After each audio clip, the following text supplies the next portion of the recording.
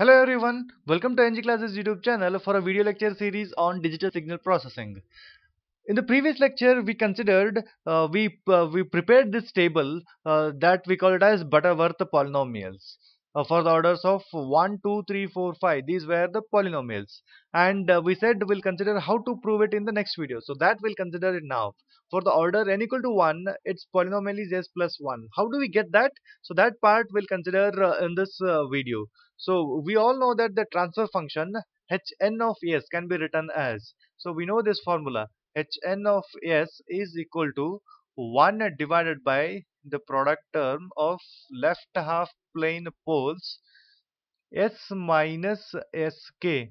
This is equal to 1 divided by bn of s. So in one of the videos we have derived this uh, as the design of low pass Butterworth filter. So I kindly recommend you to watch this video and come back here so that we'll understand how did we get at this formula.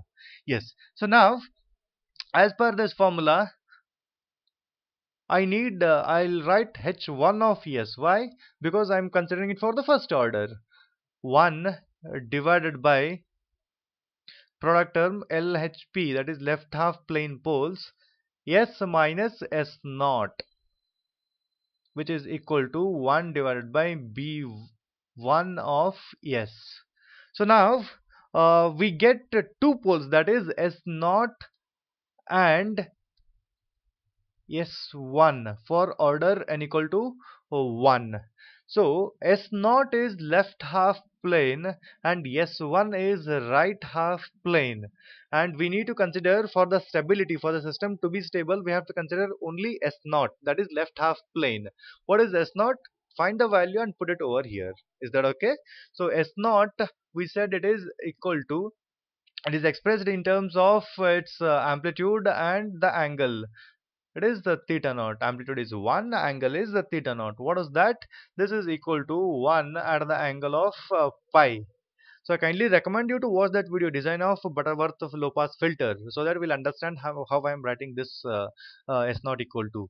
And we know that it is 1 cos uh, this is just pi uh, which is equal to cos pi plus j sine pi. So using Euler's rule I can write something like this. And we know that sine pi is 0 cos pi is 1 I'm going to get s naught as minus 1 are you getting it? So once we get s naught as minus 1 I can put it in the above uh, table uh, formula. That is b1 of s. We said it is s minus s naught and here I'll put it as s minus of minus 1 I got the s naught as minus 1 so if I put that I'm going to get s plus 1 as the Butterworth polynomial b1 of s. And similarly I can write the transfer function as well. H n h1 of s is equal to 1 divided by s plus 1 so this is the Butterworth polynomial and this is corresponding the transfer function. So this is how we get b1 of s is equal to s plus 1 as I stated over here. So in the next video we'll consider for the order n equal to 2 how do we arrive at this uh, square plus root 2s plus 1 that we'll consider in the next video. Till then thank you everyone for watching and meanwhile subscribe to our channel EnggClasses for more videos on digital signal processing. Thank you everyone.